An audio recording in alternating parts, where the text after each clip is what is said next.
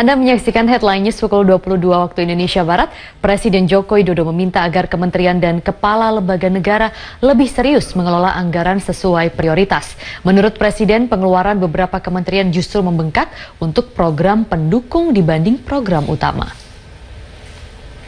Pesan keras Presiden Jokowi ini disampaikan di hadapan Menteri, Gubernur, Wali Kota, dan Bupati dalam acara penyerahan daftar isian pelaksanaan anggaran atau DIPA, proses penyusunan anggaran pendapatan dan belanja negara tahun 2018 di Istana Bogor, Jawa Barat. Jokowi mencontohkan laporan dari Menteri Tenaga Kerja yang terindikasi terdapat pengelolaan anggaran dana ah. yang dianggap kurang tepat. Jokowi menyebut ada anggaran yang justru sebagian besar dihabiskan untuk kegiatan penunjang dan justru hanya sebagian kecil yang digunakan untuk kegiatan intinya. Jokowi meminta seluruh jajarannya agar benar-benar mengelola mengelola anggaran sesuai prioritas yang ada.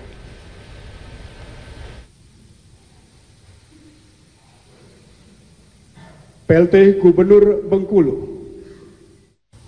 Belanja pendukung malah jadi yang dominan. Sementara belanja inti malah sedikit, ini belanja dukungnya malah 90 persen, belanja intinya malah hanya 10-20 persen. Kebalik-balik, coba lihat RKAKL, lihat kalau nggak percaya. Hampir 90% kita seperti ini. Saya berikan contoh, saya ngambil contoh di Pak Menagar, sudah diberikan contoh ke saya. Ini contohnya, pemulangan TKI. Cek.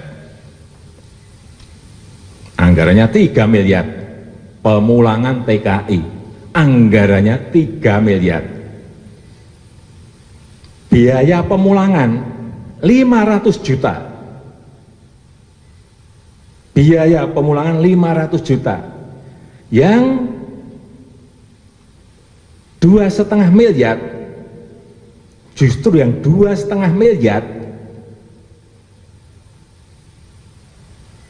ini untuk rapat dalam kantor rapat luar kantor rapat koordinasi perjalanan daerah, ATK, dan lain-lain.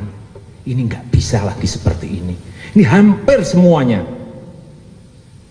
model-model seperti ini di kementerian, lembaga, di daerah, sama